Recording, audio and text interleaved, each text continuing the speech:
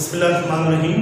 अज़ीज़ तलबा, हमारा आज का लेक्चर नंबर पाँच बाब नंबर सात, पाकिस्तान के खारजा ताल्लुकात से मुतलिक है। आज के इस लेक्चर में हम तीन मुख्तलिफ़ मौजूद का जायज़ा लेंगे।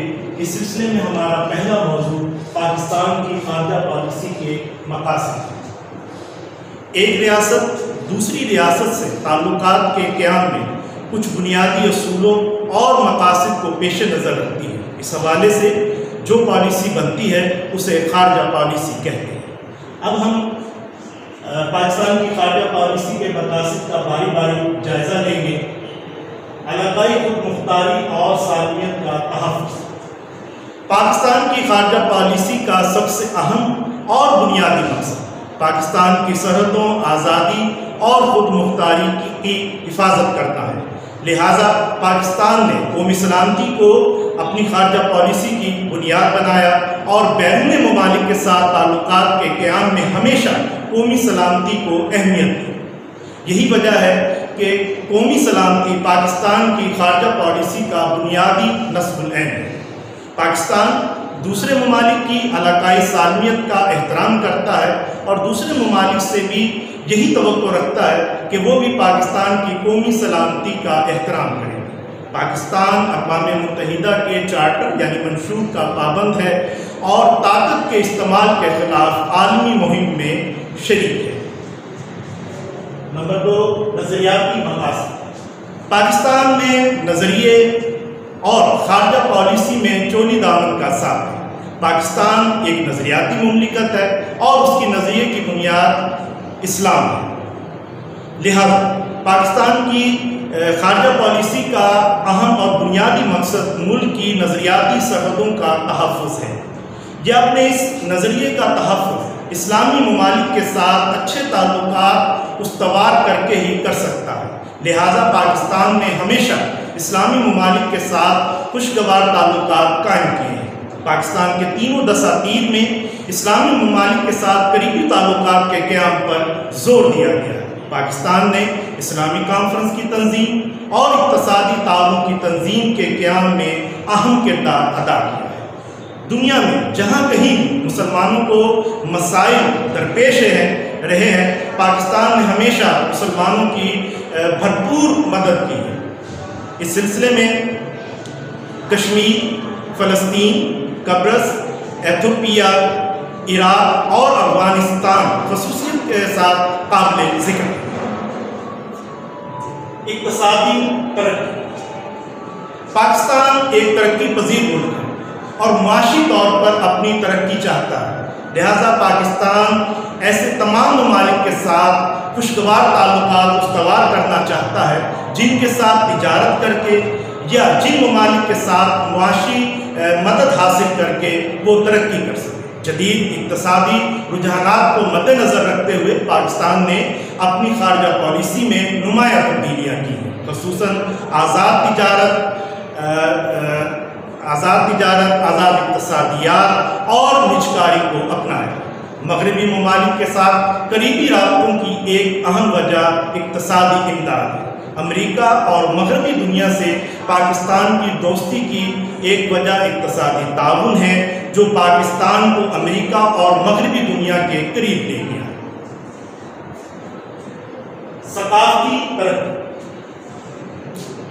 पाकिस्तान की खारजा पॉलिसी पर मुख्तलि सकाफती अवामिल का हमेशा असर रहा है। पाकिस्तान की सकाफत इस्लामी अकदार की आयनादार है। हमारी सकाफत में रवादारी, एहतराम इंसानियत, शर्म हया और हुरियत और बहादरी जैसे अनासर नुमाया पाकिस्तान अपनी खारजा पॉलिसी के ज़रिए उन ममालिक के साथ करीबी और बरदराना बरदराना और दोस्ताना ताल्लुक उसवार करना चाहता है जिसके ज़रिए ना सिर्फ़ पाकिस्तान की सकाफत महफूज रहे, बल्कि उसे फ़रोग भी हासिल हो इस मकसद के हसूल के लिए बरदर इस्लामी ममालिक के साथ सकाफती ताल्लुक को फ़रोग दिया जाता है और इन ममालिक के दरमियान सकाफती वफूद के तबादले अमल में लाए जाते हैं। पाकिस्तान की लिबास, पाकिस्तानी लिबास और दीगर अशिया दूसरे ममालिक में बेहद पसंद की जाती है। जो रियासतों के दरमियान अवामी सकाफत की सतह पर ताल्लुकात को ताल्लुक को फ़रोग दिया जाता है और ताल्लुकात जो हैं उनको बढ़ाया जाता है।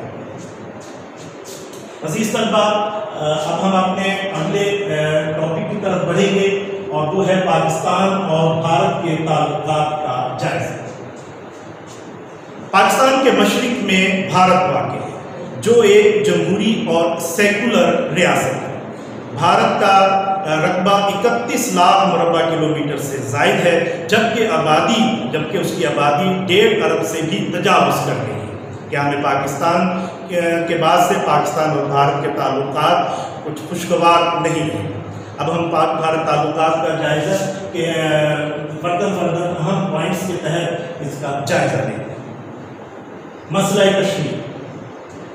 पाकिस्तान और भारत के दरमियान पाकिस्तान और भारत के दरमियान मसला कश्मीर सबसे बड़ा तनाज़ा है, जिसे हल किए बगैर दोनों ममालिक के ताल्लुक में बेहतरी नहीं आ सकती। पाकिस्तान ने हमेशा मसला कश्मीर के हल के लिए एक मस्बत रवैया अपनाया है, लेकिन भारत इस मसले के हल के लिए संजीदा नहीं है। अगर ये मसला हल हो जाए यानी कश्मीर का मसला हल हो जाए तो दोनों ममालिक के दरमियान मुख्तलिफ़ शोबों में ताल्लुक में बहुत बेहतरी आ सकती है। उन्नीस सौ साठ में पाकिस्तान और भारत के दरमियान दरियाई पानी के मसले के हल के लिए आलमी बैंक के ताउन से सिंह तास माहा हुआ लेकिन भारत मुसलसल इस माहे की खिलाफ वर्जी करता चला रहा है। नंबर तीन, शिमला मुआहदा उन्नीस की जंग के बाद पाकिस्तान और भारत के सरबराहों के दरमियान उन्नीस सौ बहत्तर में शिमला माहा तय इस माहे की रूह से दोनों ममालिक ने अपने तनाज़ा गुफ्त शनीद से हल करने का ऐलान किया। नंबर चार, सात में शमूलियत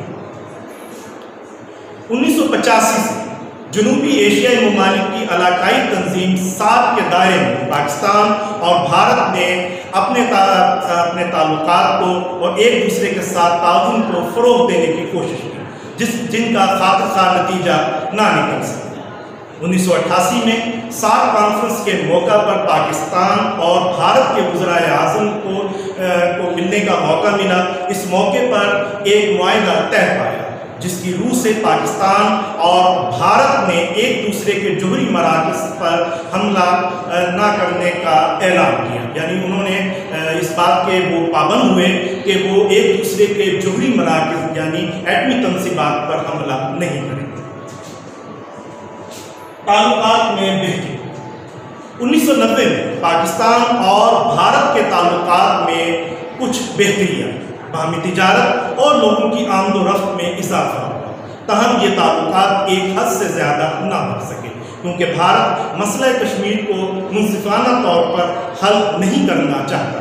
तहम पाकिस्तान का हमेशा से कश्मीर के हवाले से ये मुनफाना मौक़ रहा है कि मसला कश्मीर को अकवा मुतहदा की मंजूर करदा करारदाद की रोशनी में कश्मीरी आवाम की मर्ज़ी के मुताबिक हल किया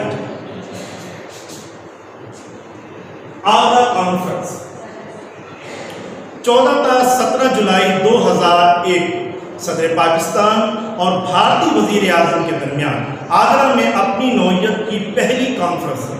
तीन रोज़ा मुजाकर बगैर किसी हतमी फैसले के ख़त्म हुए इस्लामाबाद कॉन्फ्रेंस जनवरी 2004 में इस्लामाबाद में सात कॉन्फ्रेंस मुनद हुई। इस मौका पर सदर पाकिस्तान और भारतीय वज़ीर अजम के दरमियान मुजाकर हुए और कई समझौते तय दो हज़ार तेरह में अकवा मुतहदा की जनरल असम्बली के अजलास के मौका पर पाकिस्तान और भारत के वज्रा अजम की मुलाकात हुई और दोनों ममालिक के दरमियान ताल्लुक मुजाकर जारी रखने का अदा किया गया। अज़ीज़ तलबा अब हम अपने तीसरे सवाल, चीन पाकिस्तान का हमसाया मुल्क है, जिसने हर मुश्किल घड़ी में पाकिस्तान का साथ दिया है, इसका जायजा है चीन पाकिस्तान का अजीम हमसाया है चीन के साथ पाकिस्तान की शुमाली सरहदें मिलती हैं। उन्नीस सौ उनचास में चीन के क्याम के चंद माह बाद ही पाकिस्तान ने उसे तस्लीम कर लिया। उन्नीस पचपन में पाक चीन ताल्लुक का आगाज़ हुआ और दोनों ममालिक दोस्ती के रिश्ते में बन गए। बहुत से सियासी और बैन अवी अमूर पर दोनों ममालिक में कामिल हम आहंगी पाई जाती है। जंग और अमन दोनों ज़मानों में चीन ने पाकिस्तान का एक दोस्त होने का भरपूर सबूत दिया। अकवा मुतहदा की पाकिस्तान ने चीन को अकवा मुतहदा की सलामती कौंसल का मुस्तकिल रुकन बनाए जाने की भरपूर हमायत भारत चीन तनाज़ उन्नीस सौ बासठ में भारत चीन जंग के बाद पाकिस्तान चीन की अखलाकी, सियासी और सफारती हमायत पाक भारत जंग। उन्नीस सौ पैंसठ और 1971 की पाक भारत जंगों ने चीन ने पाकिस्तान की सियासी मुआशी, सफारती, अखलाकी और दिफाई शोबों में भरपूर मदद की। यक्सा एटमी पॉलिसी। उन्नीस सौ चौहत्तर में भारत के एटमी धमाकों के बाद पाकिस्तान और चीन ने यक्सा एटमी पॉलिसी इख्तियार दोनों ममालिक ने पैर हिंद को एटम से पाक इलाका करार दिए जाने पर ज़ोर दिया। उन्नीस सौ छियासी में पाकिस्तान और चीन ने एक एटमी समझौते पर दस्तखत किए और चीन ने पाकिस्तान की माली और फनी ताउन का ऐलान किया। विश्व चीन की मदद से 900 किलोमीटर, तकरीबन 900 किलोमीटर तवील शाहरा रेशम, जिसे शाहरा कराक्रम भी कहा जाता है, तामीर की गई। ये शाहरा पाक चीन दोस्ती की अलामत अलामत और एक दरक्षा मिसाल की हैसियत रखती है। दिफाई पाकिस्तान की बका और सलामती के लिए चीन ने हमेशा पाकिस्तान के दिफा में भरपूर दिलचस्पी ली है। लिहाजा दिफाई शोबे में भी पाकिस्तान और चीन ने कई दिफाई माहे किए हैं, जिनके तहत चीन ने कामरा कॉम्प्लेक्स, पाकिस्तान व आर्डिनेंस फैक्ट्री के क्याम में पाकिस्तान की भरपूर मदद की। इसके अलावा सुबह खैबर पख्तूनख्वा में हैवी इंडस्ट्री इलेक्ट्रिकल कॉम्प्लेक्स की तामीर के लिए दो सौ तिहत्तर मिलियन रुपए मुहैया किए 2013 में पाकिस्तान के वज़ीर अजम ने चीन का दौरा किया।